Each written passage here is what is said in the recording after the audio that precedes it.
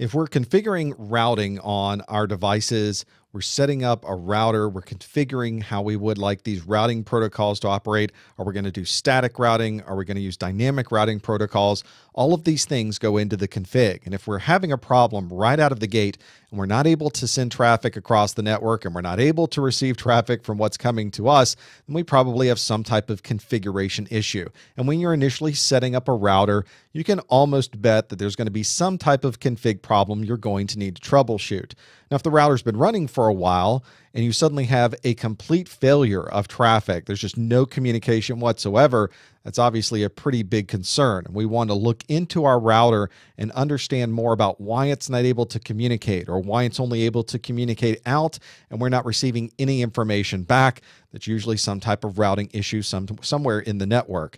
Sometimes the route might be there and then the route might disappear and then the route might come back and then it'll disappear again because we may be using a dynamic routing protocol that automatically updates all the routers and informs them of where all of the routes are. But let's say you have a remote site that is having some type of communication problem to the site. Maybe it's your wide area network provider and they're having issues and that network connection keeps disappearing. It keeps being cut off from the rest of the world we may have our routing tables updating all of the time.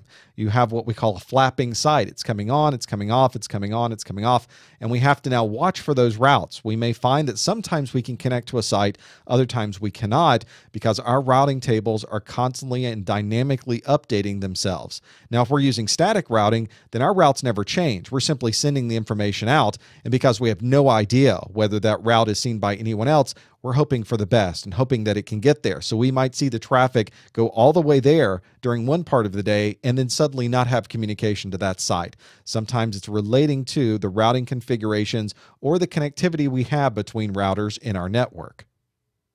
When you're troubleshooting routers, you really go back to basics. This is nothing more than following your routing tables as it goes through every route along the path.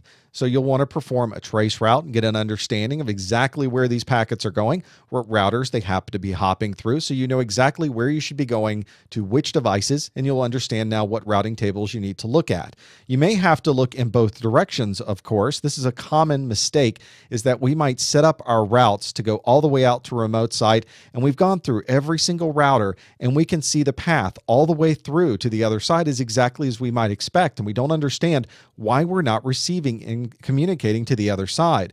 Well, we didn't check the other direction, of course. Not only do the routes have to be the correct way going out, but then we have to turn around and think about the packet as it comes the other direction and make sure the routing tables are pointing the right way there as well often when you're working with an internet type connection or you're working for from a connection you don't have access to you're going to have to call your internet service provider and tell them what do you see inside of the routing tables associated with the connection we have between you and us? Maybe we've set up some new connections on our side. Maybe we've brought up some new ip addresses on our outside link we'll have to tell that third party that now you should be sending all of that information to us as well. Otherwise, we'll be sending information out and it will have no idea how to get back to us.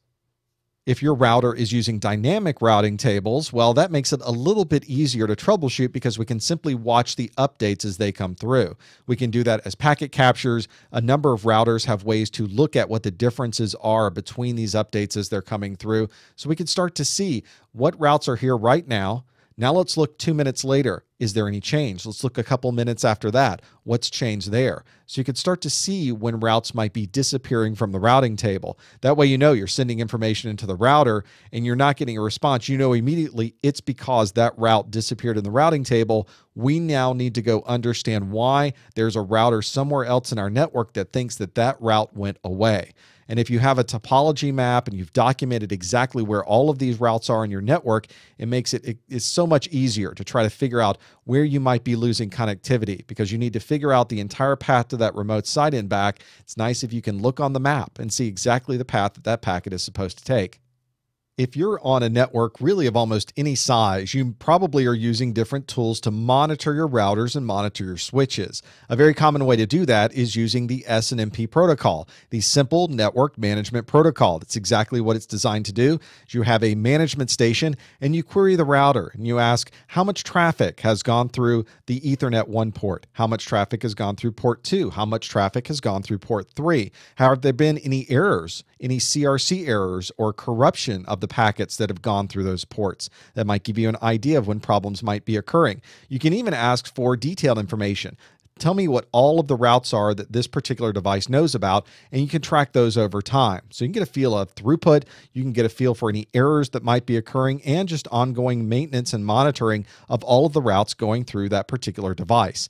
You can also use tools on your desktop like ping and trace route to see if the configuration of these routes and the configuration of the path from point A to point B is really what you might be expecting. If there's any problems in between, you may notice that the route is not taking the route that it normally normally takes. So you may have to call a third party with your ISP, or you may have to look into the health and the availability of the routers on your network to make sure that they're still up and running and they're processing the traffic the way you would expect.